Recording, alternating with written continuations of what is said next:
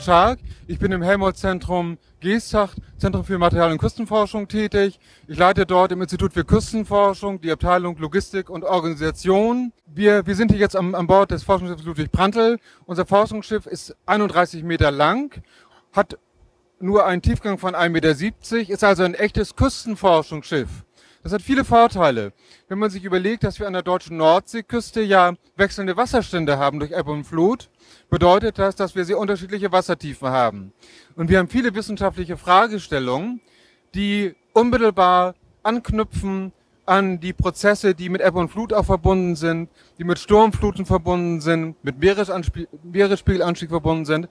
Und dazu ist unser Forschungsschiff bestens ausgerüstet. Wir können Strömungsprofile bestimmen, wir haben Hebezeuge unterschiedlicher Art an Bord, wir können Geräte schleppen und, ganz, ganz wichtig, wir nutzen dieses Forschungsschiff nicht alleine, sondern im Netzwerk mit Universitäten und anderen Forschungseinrichtungen. Beispielsweise auch dem Alfred Wegener Institut, äh, Helmholtz Institut für Polar- und Meeresforschung in Bremerhaven. Die, die, die Bedeutung diese, die, die, der Forschung ist, sieht man sehr leicht, wenn das Wasser, wenn die Wassertemperatur steigt und wir haben einen hohen Nährstoffanteil, dann haben wir Algenblüten im Wasser. Das heißt, wir haben in kurzer Zeit ist das Wasser nicht mehr durchsichtig, sondern oft grau, grünlich verfärbt. Dann haben wir Algen im, im, im Wasser. Man kann nicht mehr baden. Der Badebetrieb wird eingestellt. Das ist für die Nordsee, aber auch für die Ostsee natürlich von hoher Relevanz.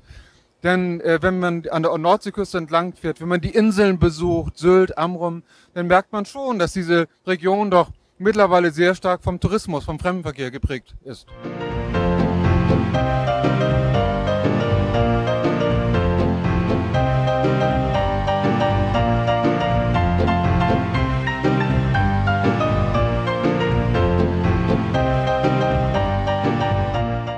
Ich bin Hans von Storch. Ich leite, bin einer der Leiter des Instituts für Küstenforschung am Helmholtz-Zentrum Geestach.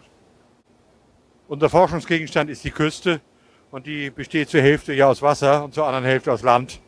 Also insofern müssen wir uns auf dem Wasser bewegen können, müssen Messungen vornehmen können, äh, Geräte testen können und derlei Dinge. Deshalb haben wir dieses Schiff.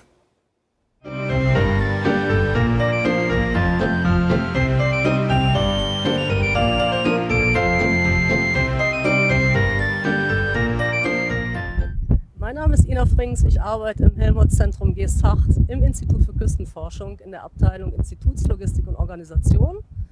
Und wir kümmern uns unter anderem darum, dass diese Tourforschung vor Anker einmal im Jahr stattfinden kann.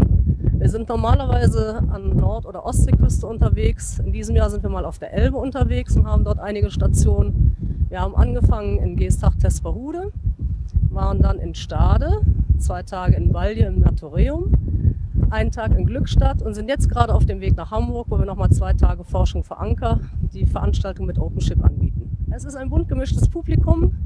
Kinder finden natürlich vor allen Dingen das Schiff interessant und befragen den Captain dann zu allen möglichen Dingen.